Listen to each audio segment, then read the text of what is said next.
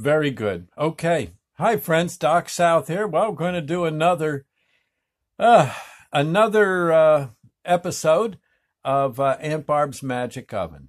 Okay. Uh, this one, uh, let's see. I believe we got. I think we're we're yes, chapter thirty nine. Gosh, let me write that in the book here. Thirty nine, and the uh, yeah, the we again, probably not even halfway through yet. Yes, we got a lot of these to do. So let's get started. All right, one a day, one a day. Okay. And I hope you're enjoying. I hope you're enjoying. Uh, remember, if you're getting in in the middle, it is really wise to start the uh, stories, go all the way back. You'll see if you go to my YouTube site, Doc South Show on YouTube, you go back all the way, you'll see there's number one, number two. They're all numbered consecutively, and you'll you'll enjoy the story more, my opinion, uh, if you um, if you do it that way. Yeah. Okay. Uh, the um, eventually, I guess I could almost. I guess there must be a way to rearrange them so that they're in order. Yeah, I don't know. We'll have to see. I'm not sure. Uh, again, you're looking an absolute cyber moron. Uh, it's lucky I know how to do this. Just start my smartphone. I actually I have trouble starting it in the morning. Yeah, it, it doesn't make. I know it's, it's it's it's not my bag. I didn't come from. I can change a tire with the best of them, but uh, boy, computers. Oh, come on! You got to be kidding.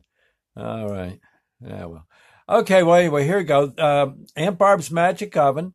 The gloves come off. Score one for Jim. Okay. Jim and Uncle Bill were about the same size. Maybe it was uh, Aunt Barb who said how, you know, there were a whole lot of clothes in the upstairs closet that Bill never wore. Uncle Bill remembered that there was uh, an old suitcase too up in the storage shed, out in the storage shed rather, and uh, we all we all put two and two together, and pretty soon, uh, well, I was up in the spare bedroom helping Jim change out of his old clothes and into one of Uncle Bill's old flannel shirts and some denim jeans and and such. And uh, Ed and Uncle Bill were also up there with the two of us, going through piles of this and looking, uh, well, this and that, looking for a good pair of shoes. Uh, we helped Jim get out of his old street clothes. Uh, like most men uh, left to their own devices, his old clothes were a sight. Uh, I do have to uh, admit the truth, though, and say that uh, Jim's underwear looked a whole lot better than mine.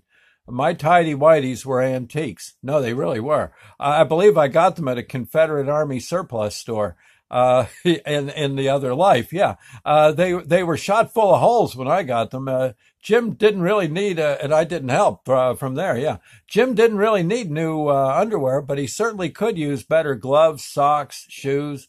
Uh, I asked Uncle Bill if I could have any uh, leftover underpants if Aunt Barb uh, was just going to pitch them.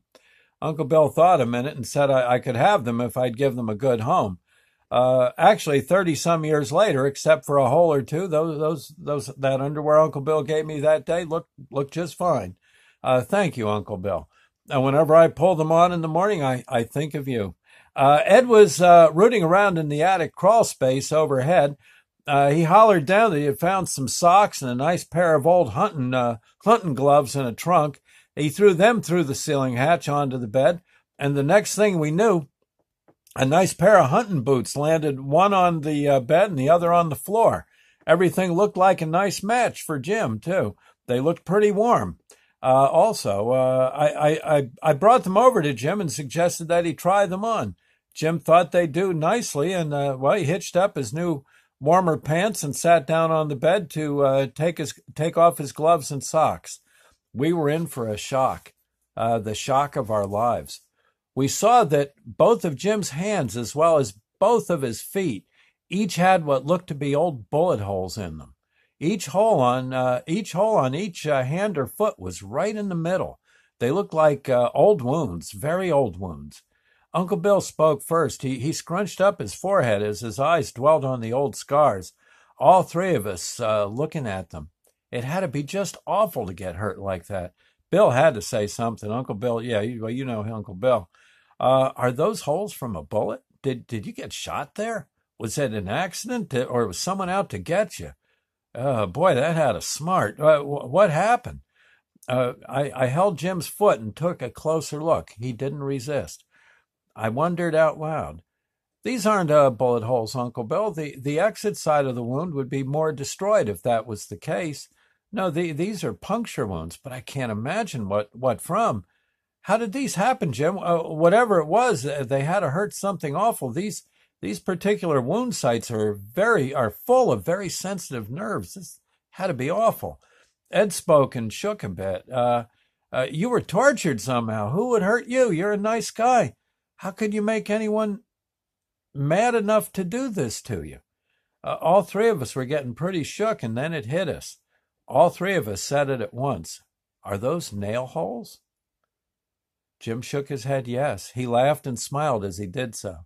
His answer came easy as pie. Yes, they are. I'm Jesus. All of you have been so wonderful. You passed the test. he says, let me, let me get those shoes on and we'll go talk to everyone outside. What do you say? Well, that's it. Uh, one of my favorite chapters in the book. Okay. Anyway, so let's, um, remember as I'm writing it, boy, I'm just crying like a baby. Oh yeah. It was, it was hard to write, uh, very emotional, but I, yeah, it looks like it came out okay. All right. Well, I'll see you later. Thank you now. And, uh, bye bye for now. God bless.